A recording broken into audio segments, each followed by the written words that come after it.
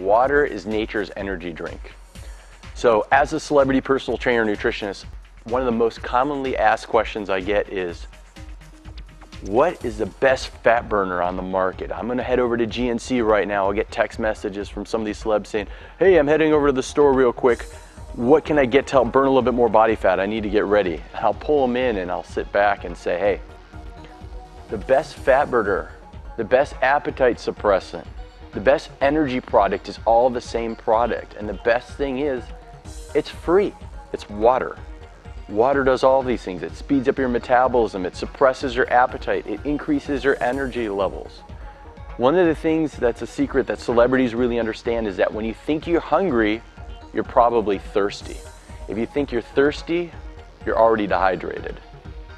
So let's look at bodybuilders as an example. Now, even though celebrities don't have the same goals as bodybuilders, bodybuilders understand body transformation better than anyone. So, You'll see these bodybuilders walk around with these gallon jugs of water because they want to measure everything out and they want to make sure that they get in there one or two gallons of water in every single day and they've incorporated that in as a symbolism for a part of their lifestyle. Now you're not going to see a celebrity walk around with a gallon of water and if they are, if they're dieting down, they've got an assistant holding it. What celebrities do instead is they've got their really fine waters always with them. They probably got some sort of endorsement deal paying based on that particular brand, but they understand good quality water. One of the water choices that I really recommend to the majority of my celebrity clientele is coconut water. Coconut, if I were to think of any perfect food on the planet, it's coconut. Coconut water is nature's Gatorade. The electrolytes in coconut water are so amazing that historically during war times they used them as an IV.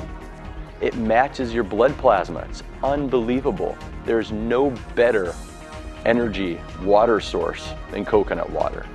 I personally drink it all the time. But when it comes down to water, just remember, when you think you're hungry, you're really thirsty. When you think you're thirsty, it's too late, you are already dehydrated. So anytime you sit down and you're thinking, okay, I'm really hungry, you know, this dieting just isn't working, chug a bunch of water. You probably were just dehydrated.